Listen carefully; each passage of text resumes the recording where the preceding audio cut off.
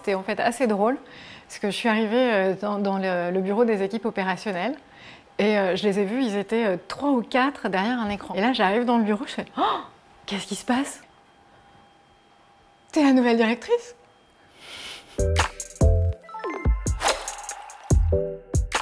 Ce que j'aime chez Saint-Gobain et dans l'IT chez Saint-Gobain, c'est que euh, déjà, il y, a des challenges en soi et il y a la possibilité de proposer euh, beaucoup de choses. Et euh, c'est quelque chose qui, m'a beaucoup plu, qui fait partie de ma nature aussi un petit peu, un peu entreprenante peut-être. J'ai une équipe de 75 personnes aujourd'hui, dont une quarantaine à peu près qui sont basées à Paris et les autres qui sont un petit peu partout dans le monde.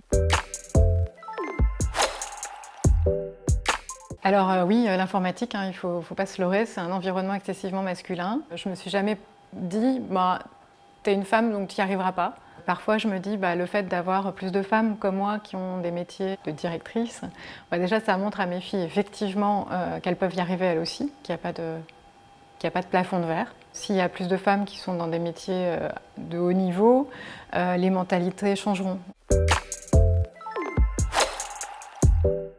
L'objectif, c'est d'avancer, d'aller, euh, d'essayer de, bah, de grandir, d'aller plus en plus loin, continuer à gravir les échelons, pourquoi pas. Il y a encore plein de choses à faire.